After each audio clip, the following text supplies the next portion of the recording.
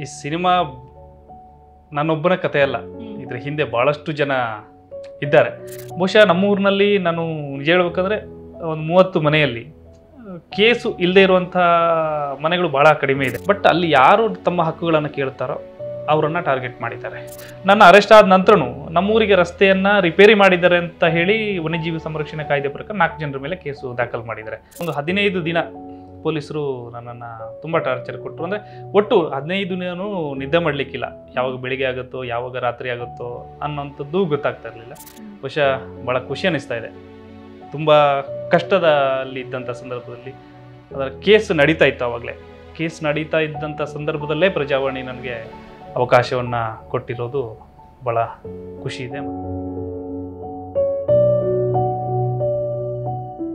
ಕಾಡೇ ಸರ್ವಸ್ವ ಅಂತ ನಂಬಿ ಬದುಕಿರುವ ಬೇರೆಯವರಿಗೆ ಯಾವತ್ತೂ ಕೂಡ ಕೆಡುಕನ್ನ ಬಯಸದ ನಾಗರಿಕ ಸಮಾಜದ ಏನು ಕ, ಕೆಡುಕುಗಳಿರುತ್ತೋ ಅದೆಲ್ಲವನ್ನ ಕೂಡ ಇವರು ಅರಿಯದೇ ಇರುವಂತಹ ಮುಗ್ಧ ಮಲೆಕುಡಿಯ ಸಮಾಜ ತನ್ನ ಒಂದು ಹಕ್ಕುಗಳನ್ನ ಪ್ರಶ್ನಿಸಿದ್ದಕ್ಕಾಗಿ ಅನುಭವಿಸಿದಂತಹ ಅನೇಕ ಕಷ್ಟಗಳ ಕಥಾಹಂದರ ಹೊಂದಿರುವಂತಹ ಚಿತ್ರವೇ ನೈನ್ಟೀನ್ ಟ್ವೆಂಟಿ ಟ್ವೆಂಟಿ ಒನ್ ರಾಷ್ಟ್ರ ಪ್ರಶಸ್ತಿ ವಿಜೇತ ನಿರ್ದೇಶಕ ಮನ್ಸೂರಿ ಅವರು ನಿರ್ದೇಶಿಸಿರುವಂತಹ ಈ ಚಿತ್ರ ತುಂಬಾ ಸೊಗಸಾಗಿ ಮೂಡಿಬಂದಿದೆ ಈ ಚಿತ್ರದ ರಿಯಲ್ ಮತ್ತೆ ರೀಲ್ ಹೀರೋ ಇಬ್ರು ಕೂಡ ಇವತ್ತು ನಮ್ಮ ಜೊತೆಗೆ ಇದ್ದಾರೆ ರಿಯಲ್ ಹೀರೋ ಆಗಿರುವಂತಹ ವಿಠಲ್ ಮಲೆಕುಡಿ ಅವರು ಹಾಗೆ ರಿಯಲ್ ಹೀರೋ ಆಗಿರುವಂತಹ ಶೃಂಗ ಅವರು ಅವ್ರನ್ನ ಮೊದಲದಾಗಿ ಕಾರ್ಯಕ್ರಮಕ್ಕೆ ಸ್ವಾಗತಿಸೋಣ. ಹಾಯ್ ನಿಮ್ಮಿಬ್ಬರಿಗೂ ಕಾರ್ಯಕ್ರಮಕ್ಕೆ ಸ್ವಾಗತ. ನಮಸ್ಕಾರ. ನಮಸ್ಕಾರ. ಹೇಗಿದ್ದೀರಾ ಇಬ್ರು? ಚೆನ್ನಾಗಿದ್ದೀರಾ? ಓಕೆ ಈಗ ನಾನು ನಿಮ್ಮ ಸರ್ ನಿಮ್ಮದು ಫಿಲ್ಮ್ ನಿಮ್ಮದು ಒಂದು ಜೀವನ ಚರಿತ್ರೆ ಬಗ್ಗೆ ಮಾತಾಡೋಕ್ಕೂ ಮುಂಚೆ ನನಗೆ ಆದಂಥ ಒಂದು ಅನುಭವನ ನಾನು ಹೇಳಿಬಿಡ್ತೀನಿ. ನಾನು ಬಂದಾಗ ಹೇಳಿದರು ನಮ್ಮ ಆಫೀಸಲ್ಲಿ ಈ ಥರ ವಿಠಲ್ ಅಂತ ಒಬ್ರು ಇದ್ದಾರೆ ಹಿಂಗಾಗಿತ್ತು ಅವ್ರ ಲೈಫಲ್ಲಿ ಅಂತ. ನಾನು ಹುಡುಕ್ದೆ ಯಾರು ಯಾರು ಅಂತ. ನಾನು ಕೇಳಕ್ಕೆ ಹೋಗಲಿಲ್ಲ. ಆಮೇಲೆ ಇಂಟರ್ವ್ಯೂ ಶೆಡ್ಯೂಲ್ ಆದಮೇಲೆ ಒಬ್ಬರು ಹೇಳಿದರು ಇಲ್ಲಿ ಕೂತಿರ್ತಾರೆ ಆರೋ ಅಲ್ಲಿ ಅಂತಂದು. ಆವಾಗ ನಾನು ಇವ್ರನ್ನ ನೋಡಿದ್ದು. ಅಲ್ಲಿ ತನಕ ನಾನು ನೋಡಿರಲಿಲ್ಲ. ಅವಾಗ ಅನ್ಸೋದಕ್ಕೆ ಸ್ಟಾರ್ಟ್ ಆಯ್ತು. ಪಾಪ ಇಷ್ಟೊಂದೆಲ್ಲ ಅನುಭವಿಸ್ಬಿಟ್ರಲ್ವಾ ಅಂತ. ಆದರೆ ಮೂವಿ ನೋಡ್ಕೊಂಡು ಬಂದಮೇಲೆ ಸಿಕ್ಕಾಪಟ್ಟೆ ಪ್ರೌಡ್ ಫೀಲ್ ಆಯಿತು ಸರ್ ಒಂದು ಈ ಥರ ಸಮಾಜದಿಂದ ಎಷ್ಟೆಲ್ಲ ಕಷ್ಟಗಳನ್ನು ಅನುಭವಿಸಿ ಮುಂದೆ ಬಂದು ತಮ್ಮ ಕಾಲ ಮೇಲೆ ತಾವು ನಿಂತ್ಕೊಂಡು ಸಮಾಜಕ್ಕೆ ಒಂದು ಮಾದರಿಯಾಗಿರುವಂಥ ಕೆಲಸವನ್ನು ಮಾಡಿದ್ದೀರಾ? ಸೊ ಇದ್ರ ಬಗ್ಗೆ ನನಗೆ ಒಂದು ಸ್ವಲ್ಪ ಹೇಳಿಬಿಡಿ. ಬಹುಶಃ ಈ ಸಿನಿಮಾ ನನ್ನೊಬ್ಬನ ಕಥೆ ಅಲ್ಲ. ಇದ್ರ ಹಿಂದೆ ಭಾಳಷ್ಟು ಜನ ಇದ್ದಾರೆ. ಬಹುಶಃ ನನ್ನ ಪರಿಸ್ಥಿತಿ ಹೇಳಬೇಕಂದ್ರೆ ಕುದುರೆಮುಖ ರಾಷ್ಟ್ರೀಯ ಉದ್ಯಾನವನ ದಕ್ಷಿಣ ಕನ್ನಡ ಜಿಲ್ಲೆಯಲ್ಲಿ ಬರುವಂಥ ಒಂದು ಕಾಡು ಪ್ರದೇಶದಲ್ಲಿ ನಾವು ಜೀವನವನ್ನು ಮಾಡ್ತಾ ಸುಮಾರು ಮೂವತ್ತು ಮಲೆಕುಡಿಯ ಕುಟುಂಬಗಳು ಆ ಪ್ರದೇಶದಲ್ಲಿ ವಾಸ ಮಾಡ್ತಾ ಇದ್ವಿ ಇವತ್ತು ಅಲ್ಲಿ ಸರಿಯಾದಂಥ ಮೂಲಭೂತ ವ್ಯವಸ್ಥೆಗಳು ಇಲ್ಲದ ಇಲ್ಲದೇ ಇರುವಂಥ ಸ್ಥಿತಿಯಲ್ಲಿ ನಾವು ಅಲ್ಲಿ ಈಗಲೂ ಜೀವನವನ್ನು ಮಾಡ್ತಾ ಇದ್ದೇವೆ. ಬಹುಶಃ ಆ ಕಾಲಘಟ್ಟದಲ್ಲಿ ಅಲ್ಲಿ ನಕ್ಸಲ್ ಚಳುವಳಿ ಅಂತ ಒಂದು ಕಡೆ ಆರಂಭ ಆದರೆ ಇನ್ನೊಂದು ಕಡೆ ಪೊಲೀಸರು ನಮ್ಮೂರಿಗೆ ನುಗ್ಗಿ ಅಲ್ಲಿ ತೊಂದರೆ ಮಾಡುವಂಥದ್ದು ಭಾಳಷ್ಟು ನಡೀತಾನೆ ಇತ್ತು. ಈ ಎಲ್ಲದರ ವಿರುದ್ಧ ನಾವು ಸಂಘಟಿತರಾಗಿ ನಮಗೆ ಒಂದಷ್ಟು ಜನಪರ ಸಂಘಟನೆಗಳು ನಮ್ಮ ಪರವಾಗಿ ನಿಂತು ನಮ್ಮ ಕಷ್ಟಗಳೇನಿದೆ ಅದನ್ನು ಅರಿಲಿಕ್ಕೆ ಸ್ಟಾರ್ಟ್ ಮಾಡಿದರು. ಈ ಎಲ್ಲ ಸಂದರ್ಭಗಳಲ್ಲಿ ನಾನು, ಅದೇ, ನನ್ನ ಕೇಸ್ ಆಗೋದಕ್ಕಿಂತ ಮುಂಚೆನೂ ಕೂಡ ಭಾಳಷ್ಟು ಜನರನ್ನು ಅಲ್ಲಿ ಹೊಡೆದು ಬಡ್ದು ಅವ್ರ ಮೇಲೆ ಕೇಸ್ ಹಾಕಿ ಅಂಥದ್ದೆಲ್ಲ ನಡೀತಾ ಇತ್ತು. ಅದು ಅದರ ಮುಂದುವರೆದ ಭಾಗವಾಗಿ ನನ್ನನ್ನು ಕೂಡ ಅರೆಸ್ಟ್ ಮಾಡಿ, ನನ್ನ ಮನೆಯನ್ನು ಎಲ್ಲ ಚಲಾಪಿಲಿ ಮಾಡಿ, ನನ್ನ ತಂದೆಯನ್ನು ಕಾಲಿಗೆ ಹೊಡೆದು ಮತ್ತು ನನ್ನನ್ನು ಕೂಡ ನನ್ನ ತಂದೆಯನ್ನು ಕೂಡ ಅರೆಸ್ಟು ಆ ಸಂದರ್ಭದಲ್ಲಿ ಮಾಡಿದರು. ಆ ನಂತರದ್ದು ಒಂದು ಇತಿಹಾಸ ಅಂತ ಹೇಳ್ಬೋದು. ಭಾಳಷ್ಟು ಜನಪರ ಸಂಘಟನೆಗಳು ನಮ್ಮ ಪರವಾಗಿ ನಿಂತು, ಮಾಧ್ಯಮಗಳು ನಮ್ಮ ಪರವಾಗಿ ನಿಂತು, ಅದು ಹೊರ ಪ್ರಪಂಚಕ್ಕೆ ನಮ್ಮ ಸಮಸ್ಯೆಗಳೇನು ಕಷ್ಟಗಳೇನು ಅನ್ನೋದನ್ನು ಅರಿಲಿಕ್ಕೆ ಸಾಧ್ಯ ಆಯಿತು. ಓಕೆ. ನಾವು ಚಿತ್ರವನ್ನು ನೋಡಿದಾಗ ನಮಗೆ ತುಂಬ ಸನ್ನಿವೇಶಗಳು, ಕಾಡುವಂತಹ ಸನ್ನಿವೇಶಗಳು ಸಿಗುತ್ತೆ. ಅದರಲ್ಲಿ ಒಂದೇನಪ್ಪ ಅಂದರೆ ಬೇಡಿ ಹಾಕ್ಕೊಂಡು ನೀವು ಎಕ್ಸಾಮ್ ಬರೀತೀರಾ. ಅದಕ್ಕೂ ಮುಂಚೆ ತುಂಬ ಪ್ರತಿಭಟನೆ ಆಗಿರುತ್ತೆ. ನಿಮಗೆ ಎಕ್ಸಾಮ್ ಬರೆಯೋಕ್ಕೆ ಅವಕಾಶ ಮಾಡಿಕೊಟ್ಟಿರೋದಿಲ್ಲ. ನಿಮ್ಮ ಸುತ್ತ ಪೊಲೀಸರು ಬಂದು ನಿಂತಿರ್ತಾರೆ. ಸೊ ಇಷ್ಟೆಲ್ಲ ಮನಸ್ಸಲ್ಲಿ ಇಟ್ಕೊಂಡು ಪರೀಕ್ಷೆನ ಬರಿಬೇಕಾದ್ರೆ ಏನಾಗ್ತಾ ಇತ್ತು ಸರ್? ನಿಮ್ಮ ಮನಸ್ಸೊಳಗೆ ಏನೆಲ್ಲ ಯೋಚನೆಗಳು ಬರ್ತಾ ಇತ್ತು ಅಂತ ಆ ಸಂದರ್ಭದಲ್ಲಿ?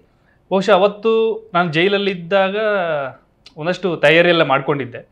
ಜೈಲಿನಲ್ಲಿ ಬುಕ್ ಎಲ್ಲ ತಗೊಂಡು ನಮ್ಮ ಫ್ರೆಂಡ್ಸ್ಗಳೆಲ್ಲ ತಂದು ಕೊಟ್ಟಿದ್ರು. ಅದನ್ನ ಓದಿ ಒಟ್ಟು ಎಕ್ಸಾಮ್ಗೆ ತಯಾರಾಗಿದ್ದೆ. ಪೊಲೀಸರು ಬಂದರು ಜೈಲಿಂದನೇ ಕೈಗೆ ಎರಡು ಕೈಗೂ ಬೇಡಿ ಹಾಕಿದ್ರು. ಇಡೀ ಕಾಲೇಜ್ ಒಳಗಡೆ ನಮ್ಮನ್ನು ಕರ್ಕೊಂಬಂದರು. ಅವರು ಆ ಸಂದರ್ಭದಲ್ಲೂ ಅದನ್ನು ತೆಗಿಲಿಲ್ಲ. ಸುಮಾರು ಎರಡೂವರೆ ಮೂರು ಕೆ ಜಿ ಇದೆ ಅದು. ಅಷ್ಟು ಇತ್ತು. ಎಲ್ಲರ ಜೊತೆಗೆ ನಮ್ಮಲ್ಲಿ ಕೂರಿಸಿದ್ರು.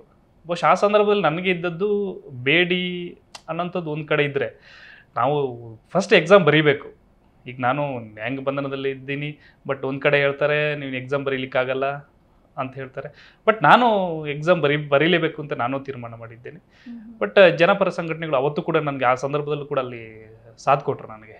ಹಾಗಾಗಿ ಇದನ್ನು ಎದುರಿಸಲಿಕ್ಕೆ ಖಂಡಿತ ಸಾಧ್ಯ ಆಯಿತು. ಬರ್ದೆ. ಓಕೆ ಸರ್ ಈಗ ಶೃಂಗ ಸರ್ ಇವಾಗ ಇವ್ರ ಪಾರ್ಟನ್ನ ನೀವು ತೆರೆ ಮೇಲೆ ಯಥಾವತ್ತಾಗಿ ತೆಗೆದುಕೊಂಡು ಬಂದಿರೋದು. ಸೊ ನಾವು ಫಿಲ್ಮ್ ನೋಡ್ತಾ ಇರುವಾಗ ನಮಗೆ ವಿಠಲ್ ಸರ್ ಮುಖಾನೇ ನಿಮ್ಮ ಒಂದು ಪ್ಲೇಸಲ್ಲಿ ನಮಗೆ ಕಾಣಿಸ್ತಾ ಇತ್ತು. ಅಷ್ಟು ಚೆನ್ನಾಗಿ ನೀವು ಅವ್ರದ್ದು ಒಂದು ಪಾರ್ಟನ್ನು ನೀವು ಆ್ಯಕ್ಟ್ ಮಾಡಿದ್ದೀರಾ ಸೊ ಇದು ಎಷ್ಟು ಕಷ್ಟ ಆಗುತ್ತೆ ಸರ್ ಯಾಕಂದರೆ ಒಂದು ಬೇರೆ ಥರ ಫಿಲ್ಮ್ ಮಾಡೋದಕ್ಕೂ ಒಬ್ಬರ ಜೀವನ ಆಧಾರಿತ ಕಥೆನ ಇರುವಂಥ ಒಂದು ಚಿತ್ರ ಮಾಡೋದಕ್ಕೂ ತುಂಬಾ ಡಿಫ್ರೆನ್ಸ್ ಇರುತ್ತೆ. ಸೊ ಅದ್ರ ಬಗ್ಗೆ ನಮಗೆ ಎಕ್ಸ್ಪೀರಿಯನ್ಸ್ ಹೇಳ್ಬೋದಾ ಅಂತ? ಫಸ್ಟ್ ಆಫ್ ಆಲ್ ಈ ಇವರು ಹೇಳ್ತಿರೋದು ಕೇಳಿದಾಗಲೇ ಕಣ್ಣಲ್ಲಿ ನೀರು ತುಂಬಿಕೊಳ್ಳುತ್ತೆ. ಸೊ ನಾವು ಇಮ್ಯಾಜಿನ್ ಮಾಡೋಕ್ಕಾಗಲ್ಲ. ಅಲ್ಲಿ ಏನಾಯಿತು ಅಂತ. ಸೊ ಅವ್ರು ಹೇಳ್ದಂಗೆ ಎರಡೂವರೆ ಕೆ ಜಿ ಮೂರು ಕೆ ಜಿ ಬೇಡಿ. ಅದು ಹಾಕ್ಕೊಂಡಾಗ ಒಂದು ಡಿಪ್ರೆಷನ್ ಫೀಲ್ ಆಗುತ್ತಲ್ಲ. ಅದು ನನ್ನ ಲೈಫಲ್ಲಿ ಯಾವತ್ತೂ ಅದನ್ನು ಅನುಭವಿಸಿಲ್ಲ ನಾನು ಬೇಡಿ ಹಾಕ್ಕೊಂಡಾಗ ಆ್ಯಕ್ಚುಲಿ ನನ್ಗೆ ಅಳು ಬಂದ್ಬಿಡ್ತು. ಇವ್ರದ್ದು ಇಮ್ಯಾಜಿನ್ ಮಾಡಿಕೊಂಡು. ಐ ಕುಡನ್ ಶೂಟ್ ಮನ್ಸೂರೆ ಸರ್ ಏನಾಯ್ತು ಏನಾಯ್ತು ಅಂತ ಕೇಳಿ ಬಂದು ತಪ್ಕೊಂಬಿಟ್ಟು ಸಮಾಧಾನ ಎಲ್ಲ ಮಾಡಿ ದೆನ್ ಐ ರಿಯಲೈಸ್ ನಾನು ಹಾಗೆ ನೆನೆಸ್ಕೋತಾ ಹೋದರೆ ಆ್ಯಕ್ಟ್ ಮಾಡೋಕ್ಕಾಗಲ್ಲ ಅಂತ. So have to distance myself from the story to act to be able to act ಇಲ್ಲ ಅಂದರೆ ನಾನೇ ಅಳ್ತಾ ಕೂತ್ಬಿಟ್ರೆ ಇವ್ರು ಅಳ್ತಾ ಕೂರಲಿಲ್ಲ. ಸೊ ನಾವು ಹಂಗೆ ಅಳ್ತಾ ಕೂರೋಕ್ಕಾಗಲ್ಲ. So have to distance myself and ಎಷ್ಟು ಕರೇಜ್ ಬೇಕಾಗತ್ತೆ ಅಂತ ಬರೀ ಇಮ್ಯಾಜಿನ್ ಮಾಡ್ಕೊಬೋದು ಅಷ್ಟೇ. ಯಾ ಯಾ ಇನ್ನೇನು ಇನ್ನೇನು ಹೇಳೋಕ್ಕಾಗತ್ತೆ? ಅಲ್ಲ ಸರ್ ಇವಾಗ ಅವ್ರ ಪಾ ಆ ಒಂದು ಪಾತ್ರದೊಳಗೆ ನೀವು ಒಳ ಹೊಕ್ಕು ಆ ಅವ್ರ ಥರದ್ದೇ ನಿಮ್ಗೆ ಭಾವ ಹೊರಗೆ ಬರಬೇಕು. ಅವ್ರು ಆ ಆ ಟೈಮಲ್ಲಿ ಹೆಂಗೆ ಅವರು ಅನುಭವಿಸ್ತಾ ಇದ್ರು ನೋವು ಅದೆಲ್ಲವನ್ನು ನೀವು ತೆರೆ ಮೇಲೆ ತೊಗೊಂಬರ್ಬೇಕಾಗಿತ್ತು. ಅದು ತುಂಬಾ ಚಾಲೆಂಜಿಂಗ್ ಆಗಿರುವಂತಹ ಒಂದು ಕೆಲಸ. ಸೊ ಈ ಟೈಮಲ್ಲಿ ಮನ್ಸೂರೆ ಸರ್ ನಿಮಗೆ ಯಾವ ಥರ ಸಪೋರ್ಟ್ ಮಾಡಿದ್ರು? ಫಸ್ಟು ನಾನು ಕೇಳಿದ್ದು ಸರ್ ನನ್ನ ಲುಕ್ಸ್ ಮೇಲೆ ಅವ್ರು ಹೆಂಗೆ ಮೂವ್ ಮಾಡ್ತಾರೆ ಅವ್ರು ಹೆಂಗೆ ಮಾತಾಡ್ತಾರೆ ಆ ಥರದ್ರ ಮೇಲೆ ಗಮನ ಕೊಡಬೇಕಾ? ಅಥವಾ ಕ್ಯಾರೆಕ್ಟರಿನ ಸ್ಪಿರಿಟ್ ಬಗ್ಗೆ ಅದನ್ನ ಗಮನ ಇಟ್ಕೋಬೇಕಾ ಅಂತ ನನ್ನ ಪ್ರಶ್ನೆ ಇದ್ದಿದ್ದು. ನನಗೆ ಅವ್ರ ಥರ ಮಾ ಅವ್ರ ಅವ್ರು ಹೆಂಗೆ ನಡೀತಾರೆ ಹಾಗೆಲ್ಲ ಮಾಡೋದು ನನಗೆ ಇಷ್ಟ ಆಗಲ್ಲ. ಬಿಕಾಸ್ ಅದೊಂಥರ ಕ್ಯಾರಿಕೇಚರಿಶ್ ಆಗುತ್ತೆ. ಆ್ಯಂಡ್ ಇವ್ರು ಚೆನ್ನಾಗಿ ಆ್ಯಕ್ಟಿಂಗ್ ಮಾಡ್ತಿದ್ದಾರೆ ಅವ್ರ ಥರ ಅನ್ನೋ ಥರ ಹಂಗಾಗತ್ತೆ. ಸೊ ಅದ್ರ ಬದಲು it is about capturing the spirit of the person so ಇವ್ರನ್ನ ಮಾತಾಡಿಸಿದಾಗ ಅವ್ರ ಜೊತೆ ಅವ್ರ ಮನೇಲಿ ಅವ್ರ ತಾಯಿ ಮೀನ್ ಸಾರು ಮಾಡ್ಕೊಟ್ಟಿದ್ರು ನಾನು ಲೈಫಲ್ಲಿ ತಿಂದಿರಲಿಲ್ಲ. ಮುಳ್ಳು ಹೆಂಗೆ ತೆಗಿಬೇಕು ಗೊತ್ತಿರಲಿಲ್ಲ. ಇವ್ರು ಹೇಳ್ಕೊಟ್ರು. ಸೊ ಆ ಥರದ್ದೆಲ್ಲ ಇದೆಯಲ್ಲ ಇವ್ರು ಅದು ಹೇಳ್ಕೊಡ್ಬೇಕಾರೆ ಹೆಂಗೆ ಹೇಳ್ಕೊಡ್ತಾರೆ. ಇವ್ರ ಜಗತ್ತಿಗೆ ಒಂದು ನಂಗೆ ವಿಂಡೋ ತೆರೆಕೊಟ್ಟಂಗೆ ಆಯಿತು ಅವ್ರ ಮನೆ ಸುತ್ತಮುತ್ತ ಅವ್ರು ಇಡೀ ಊರನ್ನ ಪರಿಚಯ ಮಾಡಿಕೊಟ್ಟು ಎಲ್ಲ ಓಡಾಡಿ ಆಮೇಲೆ ಅವ್ರ ಜಾಗದಲ್ಲಿ ನಾವು ಅಷ್ಟು ದೂರ ನಡ್ಕೊಂಡು ಹೋಗಿ ನನಗೂ ಒಂಚೂರು ಧೈರ್ಯ ಬಂತು. ಪರ ನಾನು ಒಂಚೂರು ಫಿಟ್ ಆಗಿದ್ದೀನಿ ಇವರಷ್ಟೇ ಅಂತ. ಅವ್ರ ಸೊ ಅವ್ರ ಜಗತ್ತಿಗೆ ಅವ್ರನ್ನ ಇನ್ವೈಟ್ ಮಾಡಿದ್ದಕ್ಕೆ ನನಗೆ ಸಾಧ್ಯ ಆಗಿತ್ತು. To understand his internal spirit as opposed to ಹೊರ ನೋಟದ ಬಾಡಿ ಲ್ಯಾಂಗ್ವೇಜ್ ಹೊರ ನೋಟದ ಇದು, ಅದನ್ನು ಇಮಿಟೇಟ್ ಮಾಡ್ಲಿಕ್ಕೆ ಸಾಧ್ಯನೇ ಇಲ್ಲ. ಬಿಕಾಸ್ ನನ್ನ ಜೀವನನೇ ಬೇರೆ, ಅವರ ಜೀವನನೇ ಬೇರೆ. ಸೊ ನನ್ನ ಫೋಕಸ್ ಮತ್ತು ಮನ್ಸೂರೆ ಅವರ input was about capturing the spirit of the person ಅಂತ. ಸೊ ನನಗೆ ಆ ಇನ್ಪುಟ್ ಭಾಳ ಕ್ಲಾರಿಟಿ ಕೊಟ್ಬಿಡ್ತು ಲೈಫಲ್ಲಿ help me very much in acting okay sir ಇವಾಗ ಸಿನಿಮಾದಲ್ಲಿ ಕೂಡುಮಲೆ ಅಂದರೆ ನಿಮ್ಮ ಕುತ್ಲೂರು ಈಗ ಹೆಂಗಿದೆ ಸರ್ ಈ ಮೂಲಭೂತ ಸೌಕರ್ಯಗಳು ಸಿಕ್ಕಿದೆಯಾ? ದಾರಿ ಆಗಿದೆಯಾ ವಿದ್ಯುತ್ ಬಂದಿದೆಯಾ? ಸೊ ಇದೆಲ್ಲ ಸಮಸ್ಯೆಗಳಿದ್ದಂತಹ ಒಂದು ಊರು. ಇವಾಗ ಹೆಂಗಿದೆ ಸರ್ ಅದು ಊರು?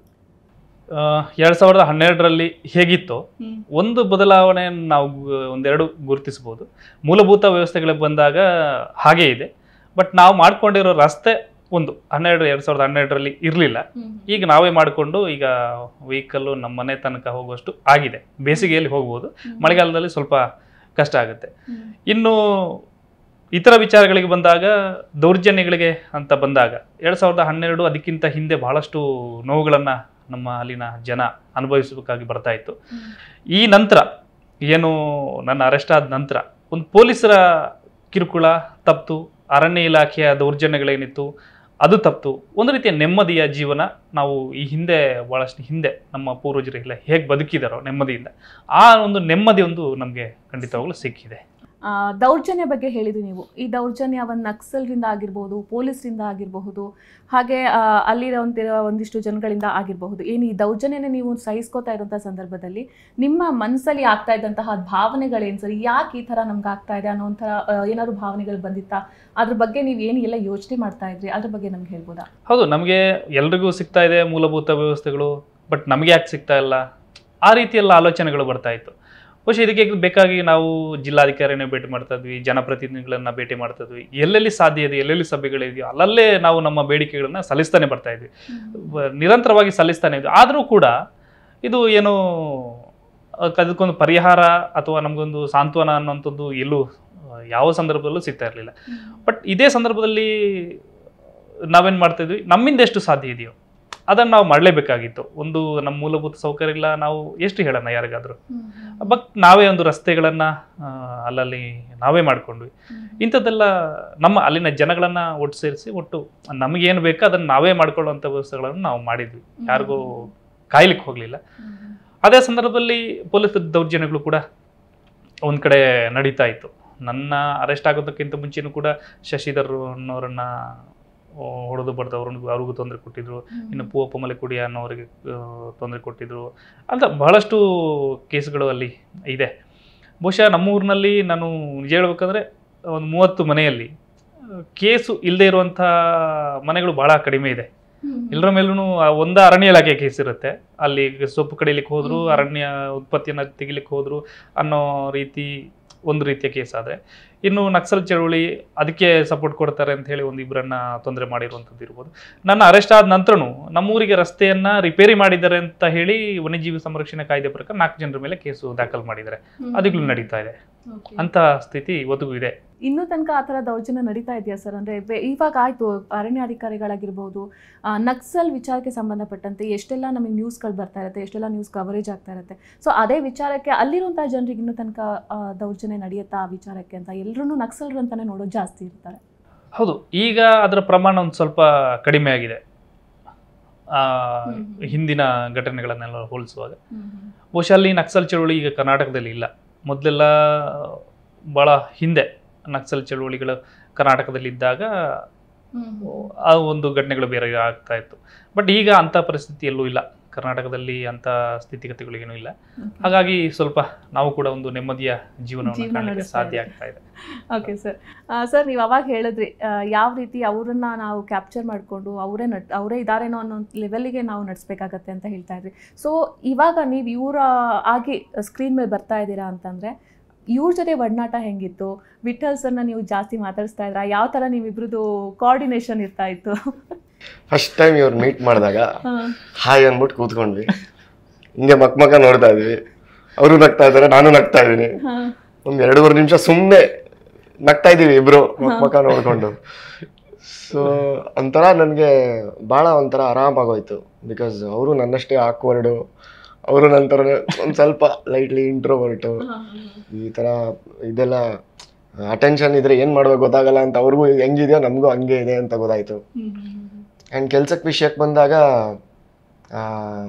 ಲೈಕ್ ಥಿಯೇಟ್ರಲ್ಲೆಲ್ಲ ನಾವೆಷ್ಟು ತೊಡಗಿಸ್ಕೋತೀವೋ ಆ ಥರ ಅವ್ರ ಜೀವನದಲ್ಲಿ ಅವ್ರ ವೃತ್ತಿಯಲ್ಲಿ ಅವ್ರು ತೊಡಗಿಸ್ಕೊತಾರೆ ಅನ್ನೋ ಒಂದು ಇದು ಗೊತ್ತಾಯ್ತು ನನಗೆ. ಎಷ್ಟು ಸೀರಿಯಸ್ ಆಗಿ ಕೆಲಸ ಮಾಡ್ತಾರೆ ಅನ್ನೋ ಒಂದು ಸೆನ್ಸ್ ಸಿಕ್ತು ನನಗೆ ಆ ವಿಷಯದಲ್ಲಿ ನಮ್ಮಿಬ್ಬರ ಬಗ್ಗೆ ನಾನು ತುಂಬ ಸಾಮ್ಯ ಕಾಣಿಸ್ತು ನನಗೆ. ಆವಾಗ ನನಗೆ ಸೊ ವೆರಿ ಹ್ಯಾಪಿ ಆ್ಯಂಡ್ ಅವರು ಅವ್ರ ಮನೆಗೆ ಕರ್ಕೊಂಡೋಗಿ ಬೈಕಲ್ಲಿ ಕರ್ಕೊಂಡೋಗಿ ಅಲ್ಲಿ ಮೀನು ತಗೊಂಡು. ಅಗೇನ್ ನನ್ಗೆ ಆ ಮೀನ್ ಸಾರು ಮಾತ್ರ ಎಷ್ಟು ನನಗೆ ಅದು ಮರೆಯೋಕ್ಕಾಗಲ್ಲ ಬಿಕಾಸ್ ಊಟ ಭಾಳ ಇಂಪಾರ್ಟೆಂಟ್ ಆಗುತ್ತಲ್ಲ. ಇಟ್ಸ್ ರೆಪ್ರೆಸೆಂಟೇಟಿವ್ ಕಲ್ಚರ್ ಅಲ್ಲ. ನನಗೆ ಗೊತ್ತಿಲ್ದಿರೋ ಕಲ್ಚರ್ಗೆ ಒಂದು ಒಂದು ಜಗತ್ತನ್ನೇ ಓಪನ್ ಮಾಡಿಕೊಟ್ಟಿದ್ದು ಆ ಜನರಾಸಿಟಿ ಅವ್ರದ್ದು ಮತ್ತು ಆ ಸಿಂಪ್ಲಿಸಿಟಿ ನನಗೊಂಥರ ಇಟ್ಸ್ ಬಿನ್ ಎನ್ ಅಮೇಝಿಂಗ್ ಒಂಥರ ಎಕ್ಸ್ಪೀರಿಯನ್ಸ್ ಇವ್ರನ್ನ ಮೀಟ್ ಮಾಡಿ. ಆ್ಯಂಡ್ ಇಟ್ಸ್ ಆನ್ ಆನರ್ ಒಂಥರ ಇವ್ರು ರೋಲ್ ಪ್ಲೇ ಮಾಡೋದು ಒಂಥರ. ಏನು ಹೇಳ್ಬೇಕು ಅಂತ ಗೊತ್ತಾಗಲ್ಲ ಈ ಥರ ಸಿಚುವೇಶನ್ ಬಹುಶಃ ಭಾಳ ಕಮ್ಮಿ ಆ್ಯಕ್ಟರ್ಸ್ಗೆ ಈ ಥರ ಈ ಥರ ಆನರ್ ಸಿಗೋದು. ಸೊ ಐ ಡೋಂಟ್ ನೋ ನನ್ನ ಲೈಫಲ್ಲೇ ಹಿಂಗೆ ಹಿಂಗೆ ಸಿಗುತ್ತೆ ಅಲ್ವ ಗೊತ್ತಿಲ್ಲ. So this is an honour and ಅದೇ ಇವರ ಲೈಫಲ್ಲಿ ನಡೆದಿರುವಂತಹ ಒಂದಿಷ್ಟು ಇನ್ಸಿಡೆಂಟ್ಸ್ಗಳನ್ನ ನೀವು ಅಂದರೆ ತುಂಬಾನೇ ನಡೆದಿರುತ್ತೆ ಅದರಲ್ಲಿ ಯಾವುದು ಮೇನ್ ಆಗಿರುತ್ತೋ ಅದನ್ನು ನಾವು ಮೂವಿಲಿ ತೋರಿಸ್ಬೇಕಾಗಿರೋಂಥ ಒಂದು ಸನ್ನಿವೇಶ ಇರುತ್ತೆ. ಸೊ ಆ ಥರದಲ್ಲಿದ್ದಾಗ ಯಾವ ಥರ ಸನ್ನಿವೇಶಗಳನ್ನ ನೀವು ನಿಭಾಯಿಸಿದ್ರಿ? ಮತ್ತು ದಟ್ಟ ಅರಣ್ಯ ಅಲ್ಲಿ ವಿಭಿನ್ನ ಸನ್ನಿವೇಶಗಳಿರ್ತವೆ ಅವನ್ನೆಲ್ಲ ಯಾವ ಥರ ನೀವು ನಿಭಾಯಿಸಿದ್ರಿ ಅಂತ? ಇವರು ಒಂದು ಮಾತು ಹೇಳಿದರು. ನನಗೆ ನಾನು ಕೇಳಿದೆ ಭಯ ಆಗಲ್ವಾ ಇಲ್ಲಿ. ಇವ್ರು ಹೇಳಿದ್ರು ಅಲ್ಲಿ ರೋಡಿಂದ ಮನೆ ತನಕ ಹೋಗ್ಬೇಕಂತಂದ್ರೆ ಫುಲ್ ಕತ್ಲಿರುತ್ತೆ ಪ್ರಾಣಿ ಗಿಡಿ. ಏನು ಪ್ರಾಣಿ ಏನು ಮಾಡತ್ತೆ? ಅದ್ರ ಪಾಡು ಹೋಗುತ್ತೆ ಅಂತಂದ್ರು ಇವರು. ಯಪ್ಪ, ಹೆಂಗಪ್ಪ ಅಂತ. ಬಟ್ ಆ ಮಾತು ನನಗೆ. ಲೈಕ್ ನಾನು ಅಲ್ಲಿ ಕಾಡಲ್ಲೆಲ್ಲ ಇರ್ಬೇಕಾರೆ ಅಂದರೆ ಶೂಟಿಂಗ್ ಟೈಮಲ್ಲಿ ಅಫ್ಕೋರ್ಸ್ ಎಲ್ಲ ಇರ್ತಾ ಇದ್ವಿ. ಬಟ್ ಸ್ಟಿಲ್ ಹುಷಾರಲ್ಲಿ ಹಾವಿರುತ್ತೆ ಅಂತಂದಾಗ ಹ್ಞೂ ಅದ್ರ ಪಾಡು ಅದು ಏನು ಮಾಡುತ್ತೆ ಅನ್ನೋ ಇವ್ರು ಕೊಟ್ಟ, ಇವ್ರು ಹೇಳಿದ ಆ ಮಾತು, ಅಲ್ಲಿ ಹೋದಾಗ ನಮಗೂ ಒಂಥರ ಗೊತ್ತಿಲ್ಲಂಗೆ ಮೈಯಲ್ಲಿತ್ತು. ಅವ ಹಾಂ ಅಲ್ಲಿದೆಯಾ? ಓ, ಅಲ್ಲ. ಓಕೆ ಓಕೆ ಅಂತ ಅಂದ್ಬಿಟ್ಟು ಈ ಕಡೆ ಹೋಗೋದು ಅಷ್ಟೇ. ಈಗ ಅದಕ್ಕೆ ನಾವು ಡಿಸ್ಟರ್ಬ್ ಮಾಡೋದು ಹಿಂಗೆ ಹೋಗೋಣ ಅದ್ರ ಪಾಡಗ ಅದು ಹೋಗುತ್ತೆ ಅಂತ. ಸೊ ಆ ಥರದ್ದು ಅಂದ್ರೆ ಹೆಂಗೆ ಸರ್ ವಿವರಿಸ್ತಾ ಇದ್ರು ಇವರ ಒಂದು ಘಟನೆಗಳನ್ನ ನೀವು ಹೆಂಗ್ ನಿಮ್ಗೆ ಹೆಂಗ್ ವಿವರಿಸ್ತಾ ಇದ್ರು? ಆ ಕತೆ ಮೂಲಕವಾಗಿ ಮನ್ಸೂರಿ ಆಗಿರ್ಬೋದು ಮನ್ಸೂರ ಸರ್ ಆಗಿರ್ಬೋದು ಇವ್ರಾಗಿರ್ಬೋದು ಯಾವ ಥರ ನಿಮಗೆ ಕತೆ ಕಟ್ಕೊಡ್ತಾ ಇದ್ರು ಅಂತ? ನಿಮಗೆ ಅದು ಅರ್ಥ ಆಗೋಂಗೆ ಅದ್ರ ಒಳಗೆ ನೀವು ಹೋಗಿ ಆ ಒಂದು ಆ್ಯಕ್ಟನ್ನ ಹೊರಗೆ ತರಬೇಕು ಅಂದರೆ? ಆ್ಯಕ್ಚುಲಿ ಅವರು ಮನ್ಸೂರೆ ಸರ್ ಮಾಡ್ಕೊಂಡಿದ್ದ ಸ್ಕ್ರಿಪ್ಟು ವೀರೇಂದ್ರ ಮಲ್ಲಣ್ಣ ಮತ್ತು ಮನ್ಸೂರೆ ಅವ್ರು ಮಾಡ್ಕೊಂಡಿದ್ದ ಸ್ಕ್ರಿಪ್ಟು ತುಂಬ ಕಾಂಪ್ರಿಹೆನ್ಸಿವ್ ಆಗಿತ್ತು. ಸೊ ಅದರಲ್ಲಿ ಫಸ್ಟ್ ನಂಗೆ ಸ್ಕ್ರಿಪ್ಟ್ ಓದಿದ ಮೇಲೆ ಇವ್ರನ್ನ ಮೀಟ್ ಮಾಡಿದ್ದು. ಸೊ ದೆನ್ ಐ ರಿಯಲೈಸ್ಡ್ ಸ್ಕ್ರಿಪ್ಟಲ್ಲಿ ಇವ್ರು ಹೆಂಗಿದೆಯೋ ಇವ್ರಿಗೆ ಏನೇನಾಗಿದೆಯೋ ಅಷ್ಟು ಕ್ಲಿಯರಾಗಿ ಅದರಲ್ಲಿ ಸೇಮ್ ಇದೆ ಅಂತ. ಏನು ಡಿಫ್ರೆನ್ಸ್ ಇಲ್ಲ ಅಂತ ಗೊತ್ತಾಯಿತು. ಸೊ ನನಗೆ ಸ್ಕ್ರಿಪ್ಟನ್ನ ಪೂರ್ತಿ ಟ್ರಸ್ಟ್ ಮಾಡ್ಬೋದು ಅಂತ ಗೊತ್ತಾಯಿತು. ಏನೇ ಡೌಟ್ ಇದ್ದರೂ ಮನ್ಸೂರೆ ಸರ್ ನಾವು ಕೇಳೋದು ಅವ್ರು ಕ್ಲಾರಿಟಿ ಕೊಡೋದು ಸ್ಕ್ರಿಪ್ಟಲ್ಲಿ ಡಿಸ್ಕಸ್ ಮಾಡೋದು. ಸೊ ಈ ಥರ ವಿಷಯಗಳಿಂದ ಮತ್ತೆ ಅದು ಹೇಳಿದ್ನಲ್ಲ ಅದೊಂದು ದಿನ ಇವ್ರನ್ನ ಮೀಟ್ ಮಾಡಿದ್ದು ಒಂದು ಜಗತ್ ಸಿಕ್ತಲ್ಲ? That is that was my treasure ಅದು ಮತ್ತು ಸ್ಕ್ರಿಪ್ಟು ಐ ರಿಯಲೈಸ್ ಇನ್ನೇನು ಎಕ್ಸ್ಟ್ರಾ ಎಲ್ಲ ಯೋಚನೆ ಮಾಡೋದು ಬೇಡ ಅನ್ನೆಸರಿ ಭಾಷೆ ಒಂಚೂರು ನಾವು ಬೆಂಗಳೂರು ಇದು ಮಾತಾಡ್ತೀವಿ. ಜೊತೆ ಅದಕ್ಕೆ ತಿದ್ದಕ್ಕೊಬ್ರಿದ್ರು ಶಿಲ್ಪಾ ಅಂತ ಒಬ್ರಿದ್ದಾರೆ ನಮ್ಮ ಟೀಚರ್ ಅವರು ಅಂದರೆ ಸಿನಿಮಾದಲ್ಲಿ. ಸೊ ಅವರು ಭಾಷೆ ತಿದ್ದಕ್ಕೆ ಅವ್ರು ಇದ್ರು. ಸೊ ಇನ್ನೇನು ತಲೆ ಕೆಡಿಸ್ಕೊಳ್ಳೋ ಅವಶ್ಯಕತೆ ಇಲ್ಲ. ಇಟ್ ಇಸ್ ವೆರಿ ಸಿಂಪಲ್ ಇವರಿದ್ದಾರೆ ಕತೆ ಇದೆ. ಇನ್ನೇನು ಜಾಸ್ತಿ ಕಾಂಪ್ಲಿಕೇಟ್ ಮಾಡ್ಕೊಳ್ಳೋದು ಬೇಡ. ಆ್ಯಂಡ್ ಸುತ್ತಮುತ್ತ ಪಾತ್ರಗಳು ಈ ಪಾತ್ರ ಡ್ರೈವ್ ಮಾಡೋದ್ರಿಂದ constantly reaction to something that is happening ಅನ್ನೋದಿತ್ತು. And ಸುತ್ತಮುತ್ತ ಅಂಥ ಫ್ಯಾಂಟಾಸ್ಟಿಕ್ ಆ್ಯಕ್ಟರ್ಸ್ ಇದ್ದಾಗ ಲೈಕ್ ಅವರೇ ಅವರು ನಡ್ಸ್ಕೊಂಡು ಹೋಗ್ಬಿಡ್ತಾರೆ. ಅವರು ಏ ಅಂತ ಹಿಂಗೆ ನೋಡಿದ್ರೆ ನಮಗೆ ಭಯ ಆ ಥರ ಆ್ಯಕ್ಟ್ ಮಾಡ್ಬಿಟ್ಟಾಗ ಆಬ್ವಿಯಸ್ ಆಗಿ ಚೆನ್ನಾಗಿ ರಿಯಾಕ್ಷನ್ ಬಂದೇ ಬರುತ್ತೆ. So the whole team of nineteen twenty twenty one ಇವರು ಇವರು ಅವ್ರ ಜಗತ್ತಿಗೆ ಒಂದು ವಿಂಡೋ ತೋರಿಸಿದ್ದು ಮತ್ತು ಆ ಸ್ಕ್ರಿಪ್ಟು ಮನ್ಸೂರ್ ಹೆಸರು ಇಷ್ಟು ನನಗೆ ಭಾಳ ಆಲ್ಸೋ ಡಿ ಒ ಪಿ ನಮ್ಮ ಶಿವ್ ಬಿ ಕೆ ಕುಮಾರ್ ಅಂತ ಇಪ್ಪತ್ತೇಳು ಕೆ ಜಿ ಶೋಲ್ಡರ್ ಮೌಂಟ್ ಹಿಡ್ಕೊಂಡು ಆ ಕಾರ್ಡ್ಗಳಲ್ಲಿ ಅಲ್ಕೊಂಡು ಇದರ ಜೊತೆಗೆ like for example one small thing is ಎಲ್ಲರೂ ಕಣ್ಣಲ್ಲಿ ಲೈಟ್ ತೊಗೋಬೇಕು ಆ್ಯಕ್ಟರ್ಸು ಅಂತ ಹೇಳ್ತಾರೆ. ನಮ್ಮ ಡಿ ಒ ಪಿ ನ್ಯಾಚುರಲ್ ಲೈಟಲ್ಲಿ ಆ್ಯಕ್ಟರ್ ಅಕಸ್ಮಾತ್ ಕಣ್ಣಲ್ಲಿ ಲೈಟ್ ತೊಗೊಂಡಿಲ್ಲ ಅಂದರೆ ಅವರು in the middle of the shot adjust ಮಾಡ್ಕೊಂಡು ಲೈಟ್ ಬರೋ ಥರ ಮಾಡೋರು. ಸೊ ನಾವು ಎಕ್ಸ್ಪ್ರೆಸ್ ಮಾಡ್ಬೋದು.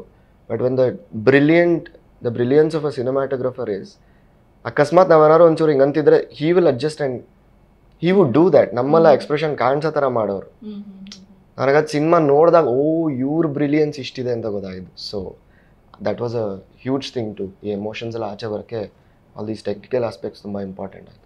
ಓಕೆ ಸರ್ ಈಗ ಪೊಲೀಸರ ಹಿಂಸೆಗೆ ನಿಮ್ಮೂರಲ್ಲಿರೋರೇ ಇಬ್ಬರು ಭೂಗತರಾಗ್ತಾರೆ. ಒಬ್ಬರು ಎನ್ಕೌಂಟರ್ಗೆ ಬಲಿಯಾಗ್ತಾರೆ ಇನ್ನೊಬ್ಬರು ಇನ್ನೂ ತನಕ ಭೂಗತರಾಗಿದ್ದಾರೆ ಸೊ ಈ ಒಂದು ಸಿಚುವೇಶನ್ಗೆ ನೀವು ಸಾಕ್ಷಿಯಾಗಿದ್ದ ನೀವು ನೋಡಿದ್ರಾ ಇದನ್ನು ಹೇಗೆ ಅಂತ? ಇದ್ರ ಬಗ್ಗೆ ಒಂದು ಸ್ವಲ್ಪ ಎಕ್ಸ್ಪ್ಲೇನ್ ಮಾಡ್ಬೋದಾ? ಬಹುಶಃ ಭಾಳ ವರ್ಷಗಳ ಹಿಂದೆ ಕರ್ನಾಟಕ ವಿಮೋಚನಾ ರಂಗ ಅಂತೇಳಿ ಒಂದು ಸಂಘಟನೆ ಹುಟ್ಕೊಂಡಿತು ಆ ಸಂಘಟನೆಯಲ್ಲಿ ನಮ್ಮ ಕುತ್ಲೂರಿನ ಒಂದಷ್ಟು ಜನ ಅದರಲ್ಲಿ ಸೇರಿಕೊಂಡು ಜನಪರವಾಗಿರ್ತಕ್ಕಂಥ ಹೋರಾಟಗಳನ್ನು ರೂಪಿಸ್ತಿದ್ದಾಗ ಅವರು ಕೂಡ ಭಾಗವಹಿಸ್ತಾ ಇದ್ರು. ಆನಂತರ ಅವರು ಆ ಸಂಘಟನೆಯ ಒಂದಷ್ಟು ಜನ ಭೂಗತರಾದಾಗ ನಮ್ಮಲ್ಲಿನ ಕೆಲವೊಂದಷ್ಟು ಜನ ಭೂಗತರಾದರು. ಆನಂತರ ಅವರು ಎನ್ಕೌಂಟರ್ ಆಗಿ ಸುಮಾರು ಒಂದು ಹತ್ತು ಹದಿನೈದು ವರ್ಷ ಆಯಿತು. ಇಬ್ಬರು ಎನ್ಕೌಂಟರ್ ಆದರು. ಇನ್ನೊಬ್ಬರು ಅವರು ಎಲ್ಲಿದ್ದಾರೆ ಅಂತ ನಮಗೂ ಗೊತ್ತಿಲ್ಲ. ಅವರು ಇದ್ದಾರೋ ಇಲ್ವೋ ಅನ್ನೋ ಪರಿಸ್ಥಿತಿಯಲ್ಲಿ ನಮಗೂ ಗೊತ್ತಿಲ್ಲ ಅದು.